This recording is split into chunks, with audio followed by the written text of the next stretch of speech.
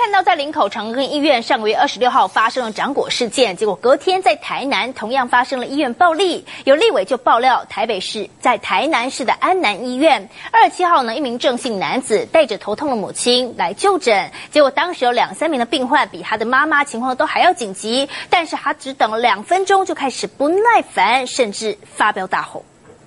无无无无，我莫名其妙啊！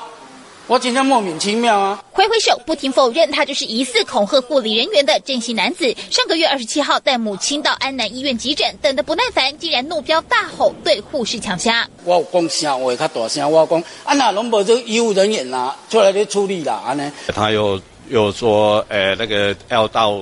停车场去围堵他，要找人来修理他。院方说男子态度差，还放话撂人，明显就是医院暴力事件，马上报警。但男子通通否认。根据了解，上个月二十七号，郑姓男子因为老母亲头痛，带他到安南医院急诊就医。因为当时其他两三名病患都非常紧急，郑姓男子只等了两分钟就不耐烦、不满，大吼说竟敢怠慢母亲，还扬言到停车场堵人，疑似出言恐吓。我靠，可能。去讲种话啦，迄是阮遐说多敲电话问我，一边员讲，诶，停车场一边是家属的停车场，啊，你来哪唔知，哦，你要等我。男子不承认恐吓骂人，还说停车场等人只是在跟大嫂讲电话，但护理人员人身安全受威胁，院方陪同审讯护理师报警，但派出所竟然还出现市议员助理亲自到场关切，要求护士不要告了。还好警察先生有正义感，仍然受理报案。二十六号林口长庚才发生掌果事件，二十七号台南医院暴力又添一桩，这次急诊怒飙恐吓，还有市议员介入，